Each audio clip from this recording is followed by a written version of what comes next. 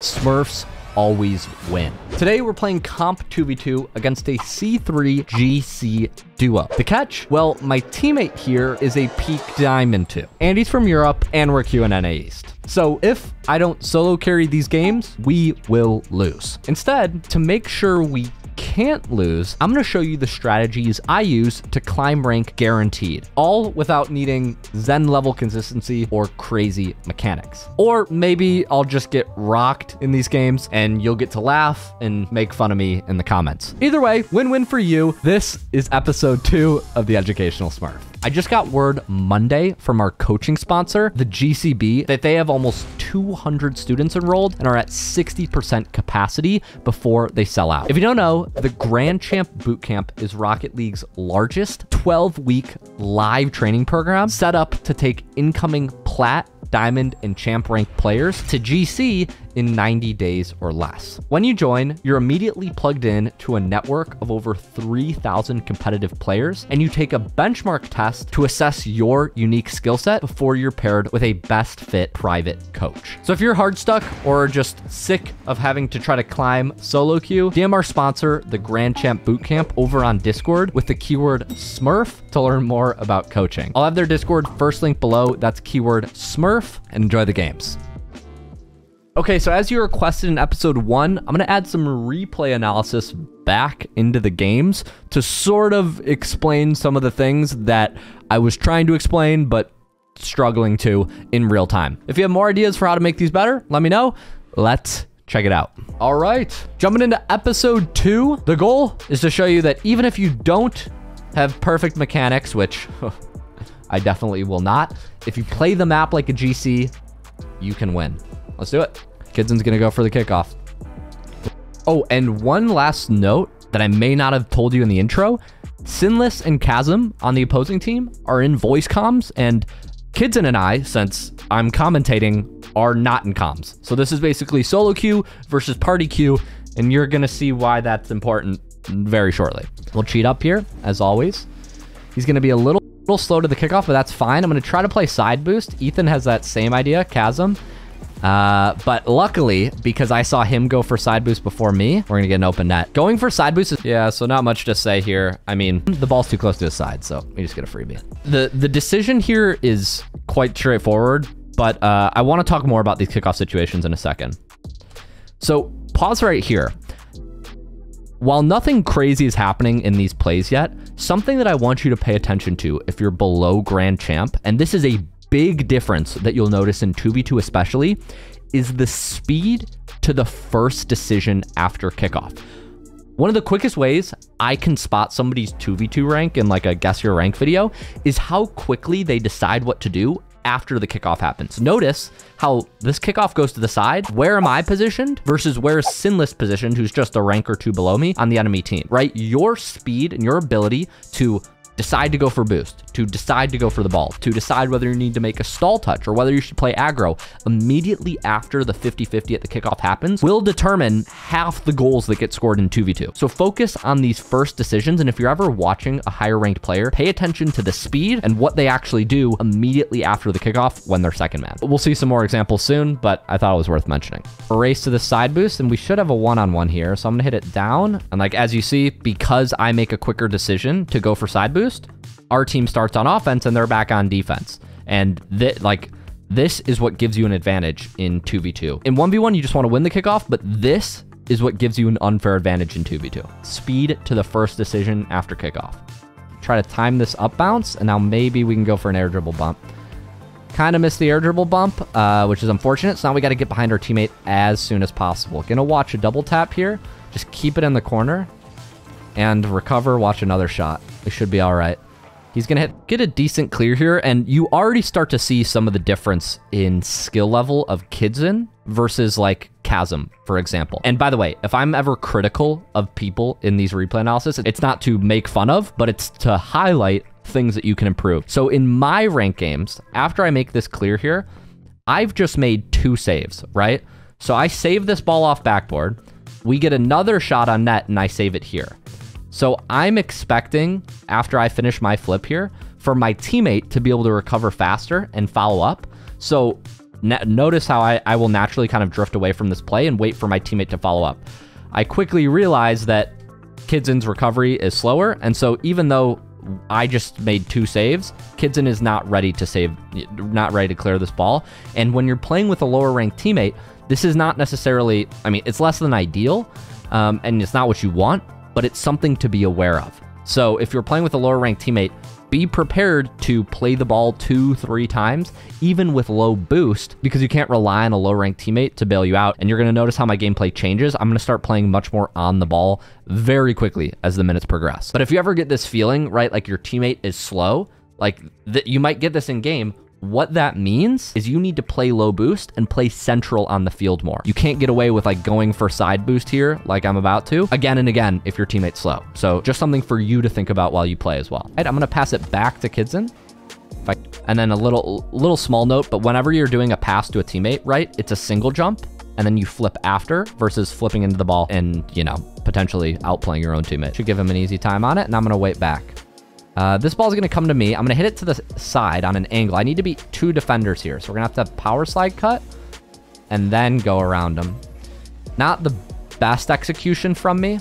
Um, it'll almost lead to a goal. Uh, all right, so this play here, I know I'm stopping a lot, but I want to explain this stuff and what I'm actually thinking when I'm doing this, because I get the question a lot from lower ranked players. Like, Luke, I don't know what to do when I get the ball. Every time I get the ball, the opponent's monkey challenge. So if you feel like that in your game, pay attention to what I do here. After I see my teammate gets a beat here, right? And they have two guys back. This is a this it might look like, "Oh, I have a great you know, situation here. And a lot of players would just take this ball if you're low ranked and just shoot it on net. But I don't do that. And the reason is because technically I am in a 2v1 here.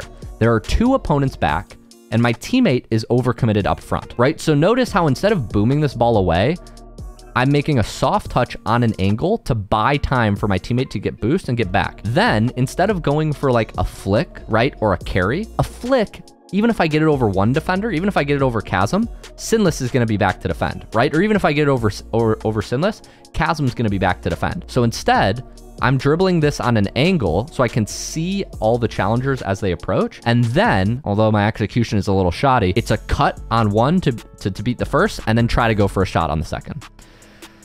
Now what you'll see ends up happening is I cut, I realize he's going for a demo on me, so I have to jump to dodge the demo, and my execution isn't great. But even so, I want you to understand, even though it looks like my play is simple, there's a reason I'm choosing that play. And when you're getting the ball in game, I want you to look how many defenders are there in front of me and where's my teammate? And then you decide how fast you can play, right? It's not I get the ball, I go for an air dribble every time, or I get the ball, I go for a flick every time. It's look at the defenders, then decide what space you have and what mechanics you can pick from, right? And if I have space and time, I'm bounce dribbling, okay? hopefully that makes sense. Fast execution from me. And then a small detail here, whenever you're in the corner, don't jump on your challenges because why? Well, one, the ball's gonna 50-50 middle, but also I can instantly rotate back and we're, we're gonna be better off. Unfortunately, Kidzin's a little bit lower ranked. Like I would have liked to see my teammate here control this pass after I after I center it maybe make a soft touch, then go for a shot on Sinless, right? Like, look at all the space Kidson has, and he's just immediately shooting. If he makes a soft touch and then goes for a flip, he could score this e more easily, but that's just the difference between low rank players and high rank players. Low rank players take the shot whenever they can take the shot, whereas high rank players make sure the shot's going to go in. They make it more quality, right? I'm just going to assume he's missing because he's too close to the wall there to, to get an angle. And uh, now we're going to play this slow. All right. Same thing again. What now that you understand how I think, look at what I'm doing when we get the play. Oh, once again, hit it to the side, cut in. That's by one. Now we have a bounce dribble. And uh, don't finish it the best, but that should have been a goal. As you can see, execution isn't great, but it's the thought that counts. And then blocking shot, and that should come back middle. And we should be able to carry this in. Uh, he early challenges, which is fine. So I'm picking up here that Chasm is kind of the fast one on the opposing team. He's he's going for early challenges again and again. And so if you're feeling this pressure, you're going to have to adapt and you'll see how I start to uh I start to play when I have the ball and I see Chasm coming first. Ball here and at least get a 50. Get a 50 on him and now we're just looking for demo. Demo probably isn't the best play to go for here. Looking back, I, sh I should have just gone for a shot. My rule generally, and I didn't follow it here, is if the opponent is same side as you, shadowing you, bumps are really good. Whereas if the opponent is back post, shots and bounce dribbles are better. So just by that rule alone, if the opponent's farther, I should be going, I should be taking this midfield and then cutting around for a shot as opposed to like going for this bump here. This bump is like super optimistic. It's, yeah, it's not, not going to happen. Probably could have done better by just trying to score, but that's all right. He'll play it into the corner, and now we're going to rotate back. Stop the ball. I want my teammate to go, but um, I will keep going if the opportunity presents itself. And okay, now we're playing back for a second. Luckily, Ethan misses, so we can take this ball to the air, get one soft touch. And uh, I looked for an air dribble bump, but he never challenged me, so we should be fine. There are a lot of... And so here, now you see why the air dribble bump works, right? Because he's same side as me, if he challenges the ball, he's getting bumped. And if he doesn't challenge the ball, well, it's going in. By the way, if you want to be smurfed on as well, the opponents and my teammate here are all volunteers from the coaching sponsor of this video, the Grand Champ Bootcamp. So if you want to get pings and have a chance to play against me, that's another reason to consider reaching out to the Grand Champ Bootcamp team. Once again, that Discord link is first link down below. Oh, and by the way, if you don't have money for coaching, totally fine. The Discord I run called the Training Club, which is actually Rocket League's largest improvement Discord, is separate from the coaching sponsor and it's completely free to join. So if you're looking for teammates or just want some free training resources, check out our training club Discord. We've got over 50,000 members. It's completely free to join and you can leave whenever you want. So if you haven't yet, go poke around and see what it's about. I could reset, I could air dribble bump. I expected him to challenge off the wall, so I thought the bump would be better. But uh, the key there is the soft first touch, right? We'll go for this, flip forward, Try to get a 50. Luckily, going to lose it back to him, which is nice. He misses corner boost. well, we're cool. Going to play behind. He looks a little awkward, so I, I turn a little early. Normally, I'd play more back post, but he's going to get demoed, so I'm going to play back here. Challenge early because Sinless does get a little bit of a heavy first touch, and so does Ethan. So here's the thing, guys. Low rank players have bad first touches. So you can shadow, you can get away with playing a little more aggressively, like on your shadows. You don't have to give them as much respect. Uh, and that's just how you should play. Like everybody complains like, oh, you know, these plats, these diamonds, they're just early challenging me. They're just getting lucky. Well, no, they're early challenging you because you have bad control of the ball. If you had good control of the ball, they would be respecting you, right? Shadow defending here so close. Or the reason that that you need to shadow defend sometimes and not go back post is because when champs make those heavy touches, if you're playing back post, you can't challenge them. Like you can't punish them for it. But the reason I'm able to punish them for those heavy touches and, and quickly go is because I'm playing so close, right? So when they make that heavy touch, I'm there to... I'm there to... So I like, I, I actually want to highlight this play. I know it sounds silly. A lot of times you'll notice when I get the ball in the opponent's corner, I go for this play right here. It's the sort of just bail on ball and look for bumps because especially when I'm playing at a disadvantage and I know my teammate is, you know, Kidson over here is lower ranked, I don't want him to be the last man back, right? So this situation where the ball's in the corner, like if maybe if it's my rank, like I'm trying to take this up, I'm trying to doomsee dish, I'm going for something more aggro. But since I'm just trying to play safe here, I'm like, shit, the ball's in the corner. I'm not going to be able to score from here. Might as well just get behind and let my diamond teammate fight for it. Uh, that way I can cover his back. And so that's exactly what we awesome. do. Problems. In any case, I'm going to play back here. This ball looks like it's high. He's not going, so I can kind of just hit it to keep it in, right?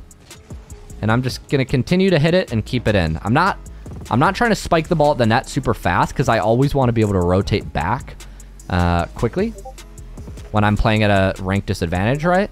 And buy time for my teammate. Kidson should have that. Sign of a lower rank player. I'm not trying to spike. If kids in here grabs our corner boost, this play is really good for us. Blue is super overextended.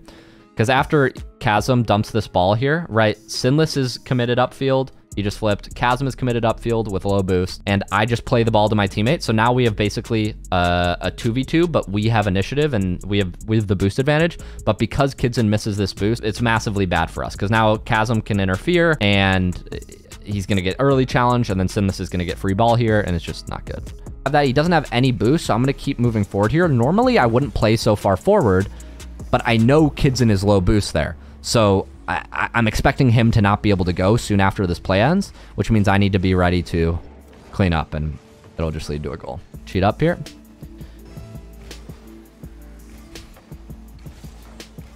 They're looking for demo. He hits it out. They're going to play it into the corner. I do have to watch for their third. He hits it a little too hard, so they're not going to have an opportunity here. Unfortunately, Kidson, double agent, sends me flying. but that's all right. I dodged sinless. I wasn't ready for kids. that's all right. That, that, that happens. That's the whole point of this. We'll go down a goal. I'll cheat up. He gets a good 50. It's going to go off Sinless. Sinless is going to see, like, I know I pointed this out at the start of the video and I, I forgot what happened in this gameplay, but pay attention to the kickoff outcomes.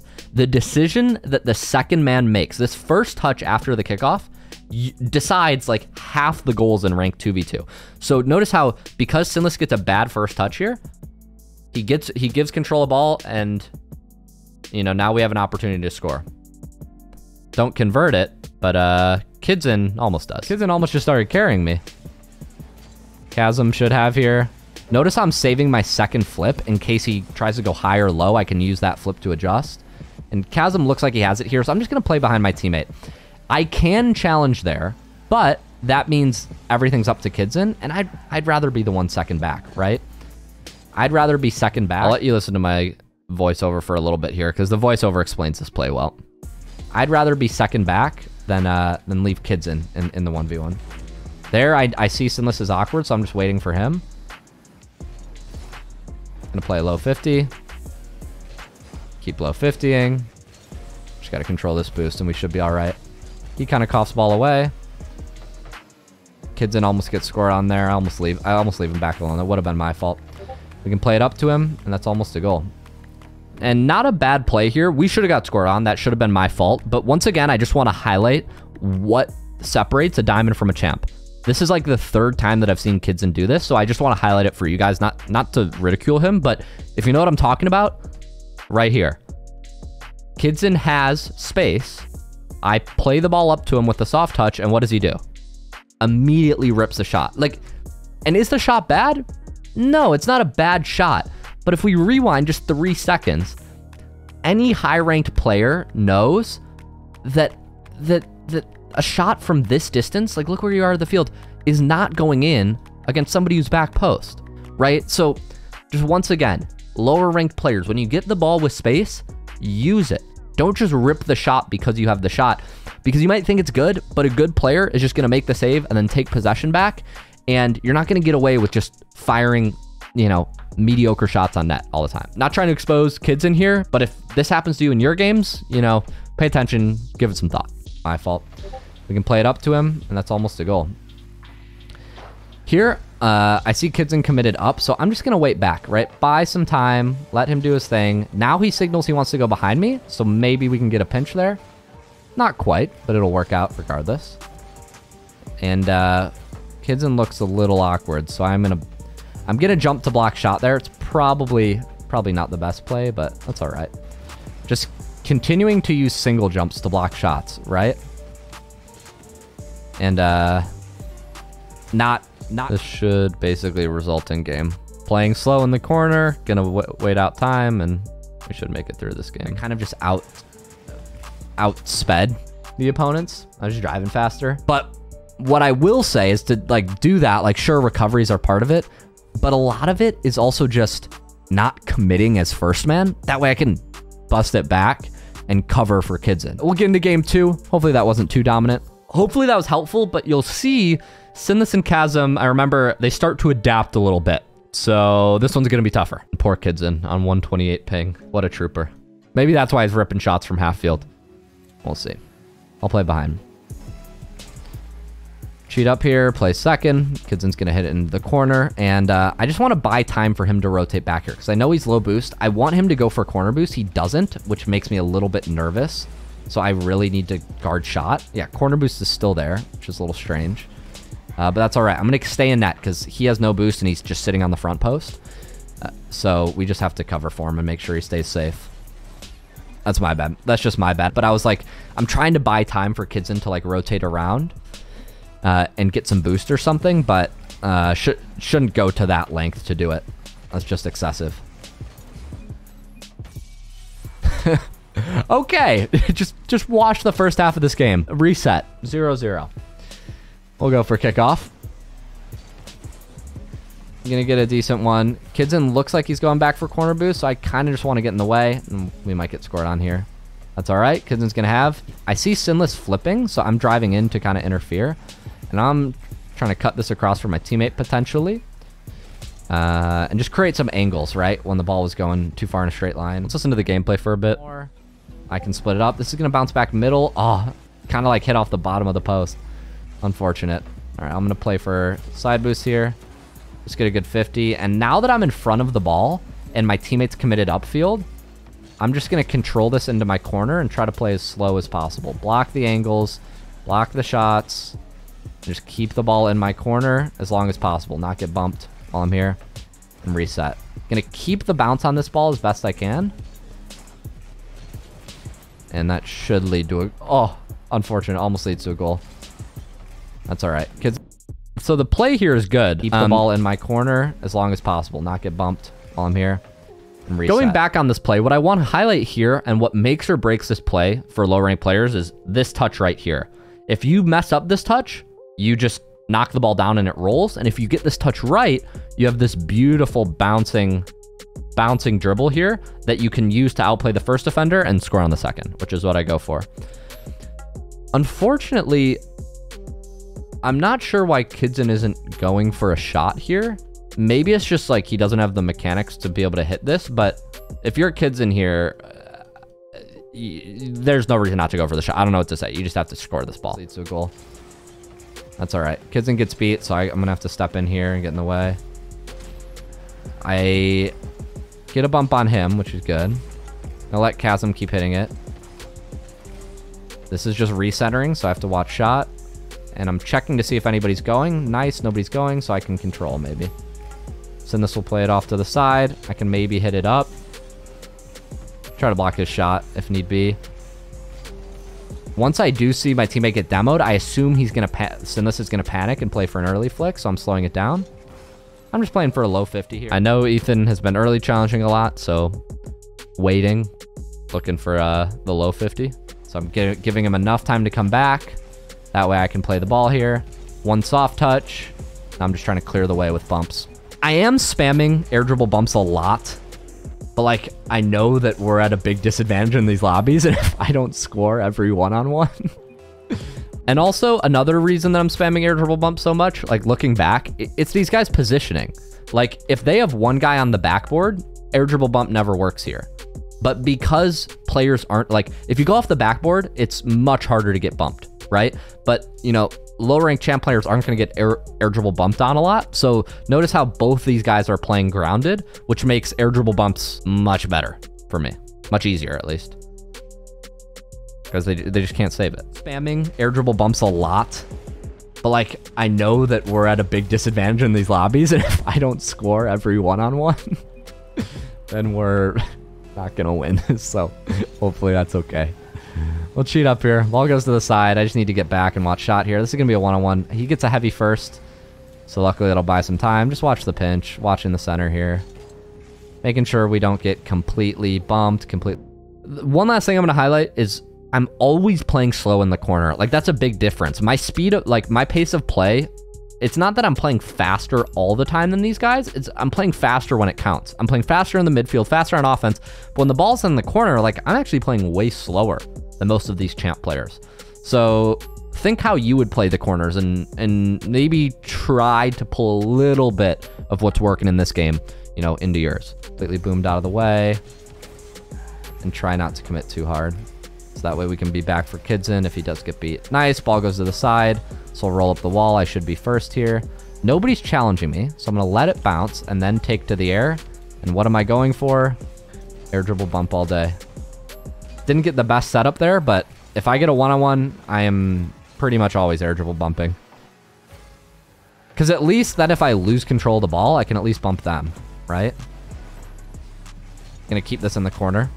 Teammate should have. He plays it a little too much to the side, so I'll get a redirect to at least keep it, keep them on their toes. And this will come back at me. I'm trying to dodge demo here. They are coming up. Looks like the orange team has come up with a new strategy. It involves a lot of demoing Heavy first touches from orange. That's honestly our saving grace. Like, we haven't had to play too much defense just because orange makes such heavy first touches, like, all the time. Like, I'm talking about, like, this right here. Ball comes off the wall here. Like, if this first touch is, like, uh, I, I get their like in an awkward spot. But if this first touch is better, they have a 2v1 on me. But because they're chaotic, they're allowing me a chance to get out of this one-on-one -on -one with an early challenge. And that's been, that's bailed me out of like almost every one-on-one -on -one situation in this game. I haven't even had to shadow because champs don't have good first touches. And I can just challenge and slow down by time. All right. We'll play back. Let's watch center. Stodging demo because I see Sinless hunting. I don't have any boost, so I can just hit it high and then maybe follow up for a shot. I have no boost here, so I'm just trying not to commit, right? And keep rotating around as much as possible. Teammate gets demoed, so I'm going to wait back here. Try to hit it around one. Then maybe I can outplay the second. My teammate's there. Yes! I was hoping Kidson would get there in time. We're good. In these situations, like when I'm when I'm challenging from the corner there, my angle is so tight, it's almost impossible for me to score on Sinless. Yeah, and actually listen listen to what I'm what I'm saying here because this explains my thought process well. In these situations, like when I'm when I'm challenging from the corner there, my angle is so tight, it's almost impossible for me to score on Sinless. So better is just play backboard, play to get the ball around him, play not to uh not to just throw the ball away. And sometimes that's your best option. Kidson gets a great dem or bump. I'm going to let this bounce middle and then go quick. And once again, sometimes better than scoring is just getting the beat. Fake. Almost. That's going to go high up wall and it'll bounce a little mid probably. So we're just going to watch shot. As long as we cover the angle here, we're okay. There's no threat. As long as we keep it in the corner and cover the angle. Do let Kidson get attacked, but uh, the angle's so small that we should be fine. Once again, I'm just I'm not full committing there. Like, I see the ball kind of center, but just drive challenging. Don't want to full commit. Here, I'll hit it up the wall, and I do have time to go for a shot. Even that shot is less to go in, but more just to buy time, just so you know. I know I was giving Kidson some flack for taking bad shots, and, you know, sometimes you do just need to buy time. And one of the best ways to buy time is just put the ball above the backboard and make it awkward, right? So, you know, shots do have a purpose like that, but weak shots on, you know, the ground are very costly. So it's, it's sort of different. Back in time, if my teammate does kind of throw a ball away, that's okay. Stay on the right side of the challenge. And I don't think I have an angle there, so I'm just not rushing anything. Not playing too crazy. And that'll be game two. We'll do one. I don't think we'll have time for one more. Let me let me know if you guys want to see three, but I think top takeaways for your games. I want you to focus on speed to your first decision, getting ball control after kickoff. I want you to focus on using space when you have it, especially using bounce dribbles over like say flicks and air dribbles. I want you to think about maybe holding off on shots unless you know they're going to go in and just play for beats in the opponent's corner, right? Don't just rep a shot just because you have one. Kidson threw away possession a couple times there. And if I wasn't carrying as hard as I would, not to sound like an ass, uh, that would have cost us more. And then last thing, think about when you can buy time in your corners. Specifically on defense, be patient. Use single jumps right? Let opponents come to you and don't try to force the ball out of your corner because that's how you recenter and get scored on. Join the Discord for a chance to be in these videos. Let me know if I could do these better in any way, whether you want voiceover, replay analysis, whatever it might be. And uh, yeah, I'll see you in episode three of the Educational Smurf. Vote on the next rank. As you know, I'll be reading the comments the first day they come out. And thanks so much for watching.